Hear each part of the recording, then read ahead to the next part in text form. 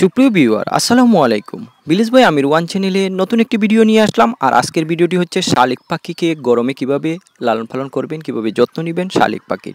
তো শুরুতেই একবার বলে নিই, আমার চ্যানেলটা এখনও যারা সাবস্ক্রাইব করেননি, প্লিজ প্লিজ আমার চ্যানেলটা সাবস্ক্রাইব করে নেবেন।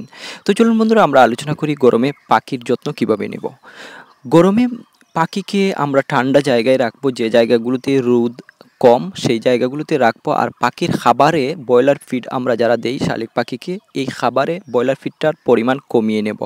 অন্য খাবার, ভাত, বিস্কিট, ঘাস পাকা ফল এইসব দিব পাখিকে।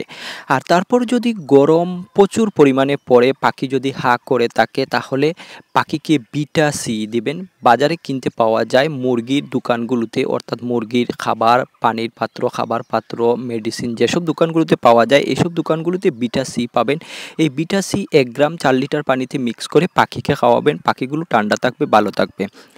আর গরমে যদি শালিক পাখি পাতলা পায়খানা করে পাখি যদি দুর্বল হয়ে যায়, তাহলে স্যালাইন দিবেন। পশু পাখির জন্য যে স্যালাইন আছে, ডেক্সুলাইট, এটা দিতে পারেন। অথবা আমরা যেটা খাবার স্যালাইন হিসেবে ব্যবহার করে থাকি মানুষের যে স্যালাইনটা খাই সেই স্যালাইন পাখিকে দিতে পারেন, পানির সাথে মিক্স করে। তাহলেই আমাদের পাখিগুলো ভালো থাকবে, সুস্থ থাকবে। আর গরমে কখনোই ভুল করে খাসাটা রোদের মধ্যে রাখা যাবে না।